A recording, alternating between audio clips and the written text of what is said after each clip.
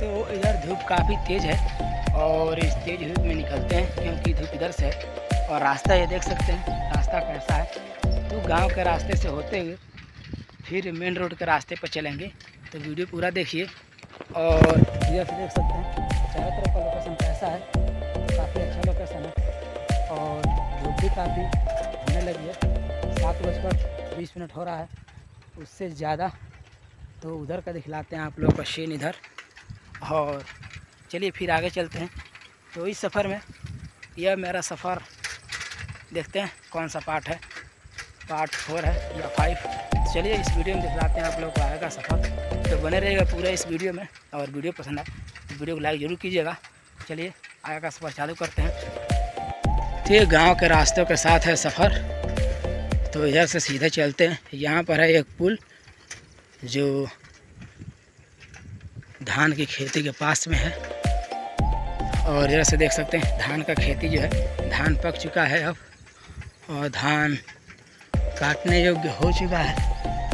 तो देखते हैं शायद आगे का रास्ता किधर से है। तो उधर से ही चलते हैं, और देखेंगे रास्ता इधर कैसा है। तो इधर से चलेंगे, और काफ़ी अच्छा रास्ता है इधर का भी, जो हरे भरे पेड़ पौधे हैं इधर। और गाँव में जाने के लिए एक रास्ता तो इधर से है। चलिए आगे दिखलाते हैं। आगे दो तीन रास्ते हैं। और देखिए यहाँ पे दो तीन रास्ते कैसे हैं। एक गाँव में रास्ता ये जाता है और आगे फिर यहाँ से दो रास्ते हैं। देखते हैं, इधर चलते हैं। इधर इधर का रास्ता। जो इधर का रास्ता है, काफ़ी अच्छा है। पीछे रोड देख सकते हैं। और यहाँ से सीधे चलना है। मेन रोड आएगा इसके बाद। ये तो गाँव का रास्ता है। यहाँ पे सबसे ज़्यादा पेड़ पौधे हैं, शीशम के। और गन्ने की खेती, धान की खेती काफ़ी ज़्यादा हुई है इधर। तो चलिए, यहाँ से आगे चल के दिखलाते हैं आप लोग आगे का सफ़र। तो यहाँ से अब चलूँगा आगे। और गाँव के रास्ते से होते हुए, फिर ऐसे ही घूमते हुए, इधर भी चारों तरफ़ खेत है। और इधर गन्ने खेती सबसे ज़्यादा, जो कि इस रास्ते पे सुबह का टाइम लड़के लोग पढ़ने के लिए जा रहे हैं और ये गाँव के रास्ते से होते हुए चलेंगे हम। आगे देखते हैं कौन सा रास्ता मिलता है, किधर का। तो कितना दूरी पर मेन रोड है, मेन रोड के साथ चलेंगे। तो आए का सफ़र दिखलाते हैं आप लोगों को इस गाँव में। तो आगे एक गाँव है जो कि गाँव आने वाला है तो इसी रास्ते से गाँव मिलेगा। जो कि चलिए दिखलाते हैं गाँव इसको। सड़क के किनारे ये देख सकते हैं इधर तालाब है, खेत में पानी लगा हुआ है, इधर पूरा खेती पूरा। आगे गाँव है तो गाँव पार करके निकलते हैं। वो यहाँ पर एक स्कूल है, देख सकते हैं यहाँ से। जो इस गाँव से मैं आया हूँ। और इधर का जो स्कूल है तो काफ़ी पुराना स्कूल है। और इधर रास्ता एक देख सकते हैं। इधर क्या है? चले। इधर स्कूल देख सकते हैं आप लोग। और काफ़ी अच्छा स्कूल है यहाँ का। कि ठीक ठाक है। और इधर से निकलते हैं आगे। और इधर पानी लगा हुआ है, खेतों में देख सकते हैं।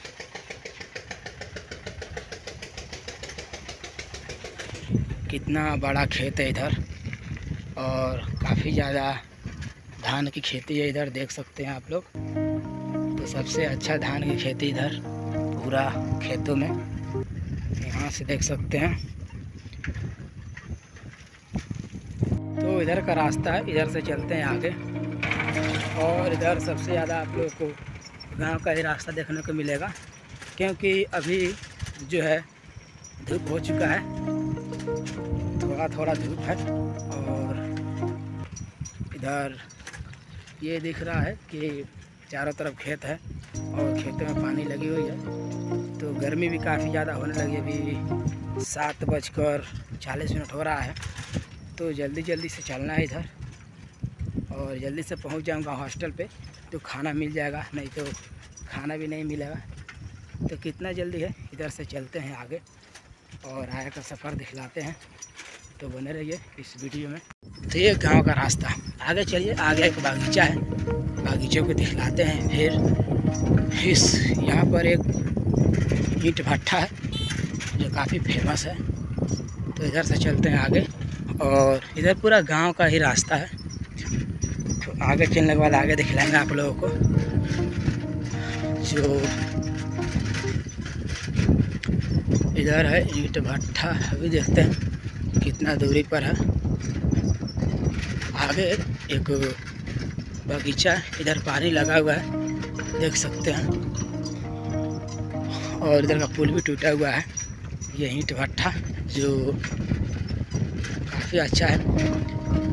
कहाँ अच्छा है? माटी उटी सब है, यहीं पे तो अच्छा थोड़ी है।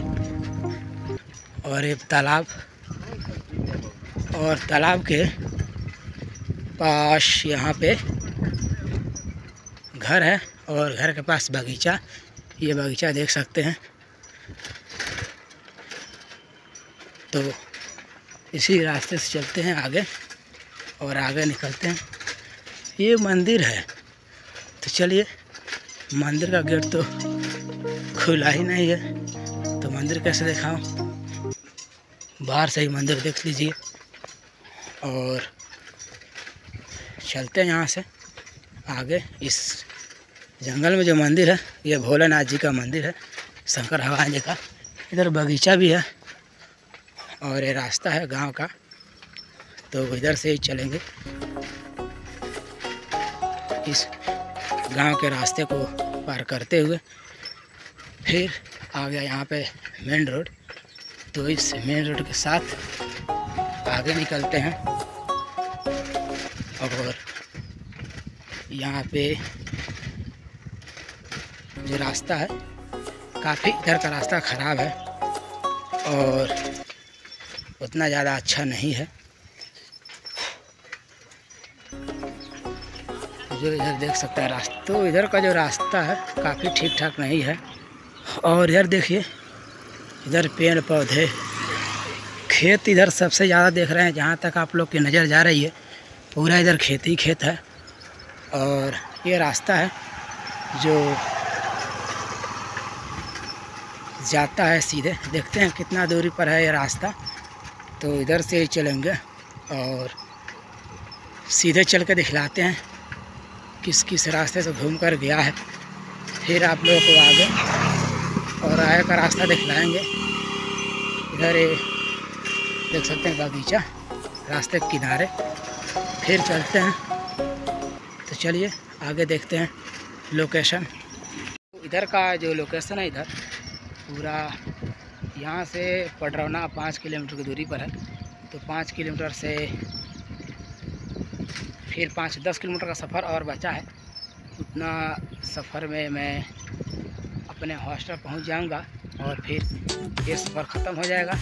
फिर अगले दिन एक नया सफ़र चालू करूँगा। तो आज का ये वीडियो पूरा देखिएगा। तो इधर का जो रास्ता है तो इधर देख सकते हैं। और यहाँ पर शायद एक मंदिर है। मंदिर है कि स्कूल है? स्कूल है।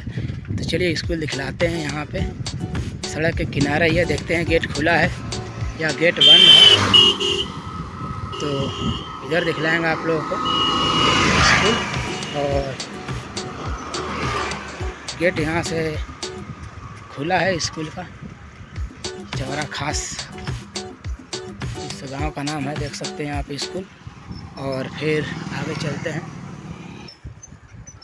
तो इधर का जो रास्ता है, इधर है पूरा खेत और फिर इधर से आए का रास्ता तो काफ़ी अच्छा है। और इधर है पेड़ पौधों वाला। यहाँ पर एक पीपल का पेड़ है, जो मंदिर है। तो चलिए, मंदिर को दिखलाते हैं आप लोगों को। यहाँ पर लिखा है श्री राम जानकी मंदिर। तो चलिए, आज इस मंदिर को दिखलाई देते हैं। यहाँ पर है ये मंदिर। तो इस मंदिर के पास चलते हैं, अंदर दिखलाते हैं। गेट है वहाँ पे और अंदर आ चुका हूँ। यहाँ पे मंदिर दिखलाते हैं आप लोगों को। चलिए।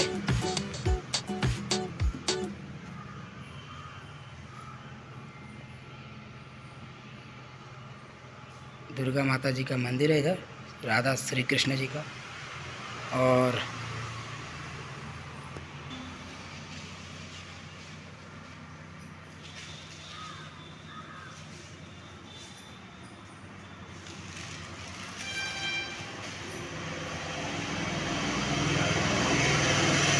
अभी मैं राम जानकी मंदिर आप लोगों को दिखलाया हूँ इस रोड पे। ये रोड अगर सीधे इधर जाएँगे तो कुबेर स्थान मंदिर, बहुत मंदिर पड़ेगा तो उधर कभी चलेंगे। तो आज के इस सफ़र में आप लोगों को ये मंदिर दिखलाया हूँ। रास्ते में बहुत मंदिर मिली है तो सभी मंदिर आप लोग देखे होंगे। तो कौन सा पार्ट पसंद आया है, आप लोग ज़रूर बताइएगा। चलिए अब यहाँ से आगे चलते हैं और मिलेंगे आप लोगों से अगले सफ़र में। वीडियो पूरा देखिएगा। धन्यवाद।